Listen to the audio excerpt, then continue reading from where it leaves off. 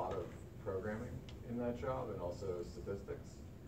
I had to, in that role, um, I basically had to write computer programs that would manipulate large data sets, run statistical analyses on those data sets, and then I had to write expert reports based on the findings um, from those analyses. And I think that that's very similar to the work that you do in machine learning. The, the analytical side is a little bit different, the types of algorithms you're using, but definitely that knowledge of statistics transfers very well to. um, I can agree with that.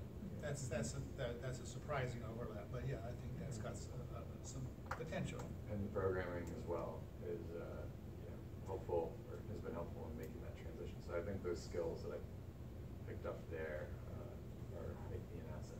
What kind of uh, machine learning algorithms have you worked with or done? Um, so I got started in machine learning using a random forest algorithm, Mhm. which um, well, whatever. Uh, so in addition to that, um, I was just using that on my job for a basic um, understanding of which variables were important in a large Uh, data set. Which position? Uh, consulting associate. Okay. Um, So just trying to get an understanding of which variables are important in this large data set. Um, and from there, I moved on to primarily using neural networks, the types of neural networks that I've had experience with. That's interesting, because I may not have mentioned in the job posting that one of my interests, well, let's, let me list them. Optimization techniques and applications in imaging, machine learning, and neuron network computing. So, uh, although I haven't used exactly the same words, there are um, some possibilities for other work for you